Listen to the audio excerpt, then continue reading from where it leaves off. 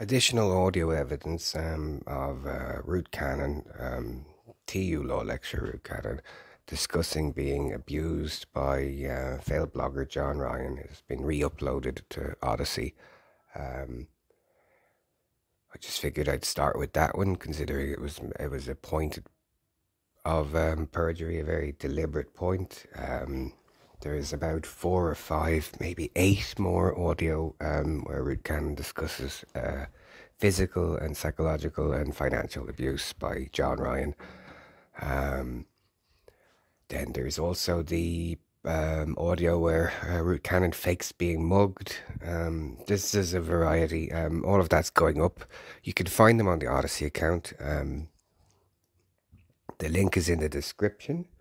Um, they also these are being posted to Reddit, um, and there's uh, an archive.org. Uh, no, there's two archive.org accounts, um, and uh, yeah, like um, so if anyone wants more of it, it's all going up. Um, the phone calls tracing back to Ruth um, all the way back to um, January 2021 and, and further are all going online and uh, they'll all be um, free for people to sample or whatever uh, as they go on. Um, um, uh, some of them I might chop down um, to just say where Ruth Cannon is talking about Michael Hanaho being senile or um, how Eva Lawler in the um, free legal aid is an idiot or, uh, you know, um, obstructing uh, reporting. Uh, the um, uh, ex-head of Housing and Welfare, Terry Madden's child abuse, um, which Terry Madden has admitted under oath uh, uh, in recorded phone call. I mean, I can't, can't get any more admitted than that, but still, Ruth was obsessed with it. Um, just like the way her and John Ryan um, and in recorded causal show, are, are obsessed with uh, paedophilia and um, child murder cases, which is um, particularly the, the, the, smaller, the younger children, the better. It seems to be that was what uh, Ruth um, continually talked about. Um, so, you know, uh, running running um, obstruction for someone trying to report historic abuse um, is a bit puzzling within all of that, but it seems to fit with the character. Um, so those calls will go up as well. Um, I think there's a, I think Ruth gets particularly, um, uh, there are nighttime calls when we get obsessed with that stuff. So I'll, I'll try and separate them into day and night calls. Um, yeah, so this is me uh, documenting um, Ruth Cannon, the uh, coercive, controlling, um, abusive uh, lunatic barrister who destroyed my life, or what was left of it, um, and then tried to murder me. And has committed perjury, really easily showable perjury on the stand in Ireland.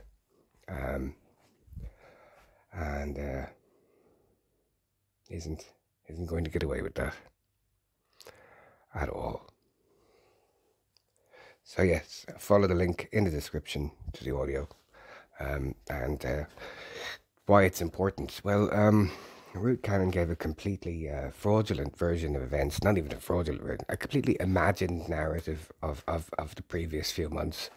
Um, and some of that involved uh, John Ryan, allegedly her partner, I don't know. Um, uh, he's a little bit of a stalker himself um, since we've met recently. Uh, and uh, he um, you know, the uh,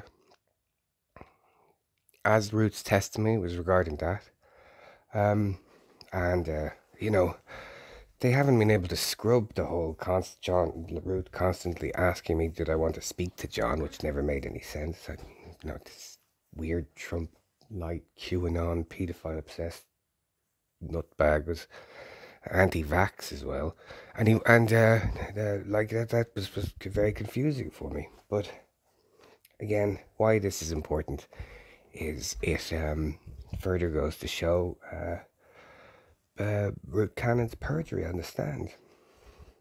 And um, every red letter was a, was a was a lie.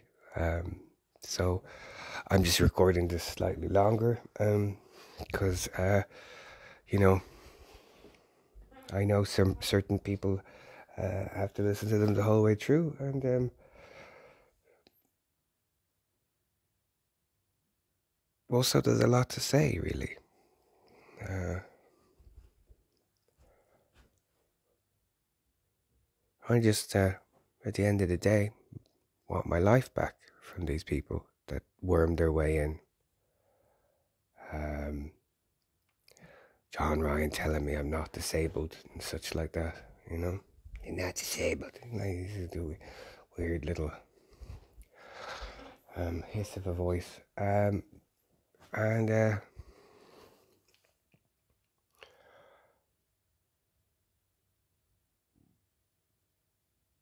well, you know, what do you do? Like, Ruth Cannon tried to murder me to block a civil case. That's the core of this. She was caught committing defamation. I've proved that she was that she was lying. She she repeated Ruth Cannon repeated the lie about the Tipp-Ex in the court again, thinking that the, the audio is gone or something. I don't know. Like this is this is like such buffoonery. Um, but this is what TU Dublin Law is standing behind. This is what Andrew Bradley is standing behind. Like the audio is already online. Ruth literally deliberately as part of the DAR the digital audio recording in court made reference explicitly to um, me losing my temper or the, the rage that I experienced uh, regarding Tipp-Ex on legal documents. Well, aside from her being obstructive and it contradicting her at the exact time in court, there was already audio online. So, you know, what you're witnessing is just terrible fraud and destruction of a person um, with a diet obsessed narcissist. Um, failure of a barrister who's a bloody lunatic and her anti vax abusive boyfriend. Like, this is what the Law Society is protecting. Anyway, the audio you will find on Odysee.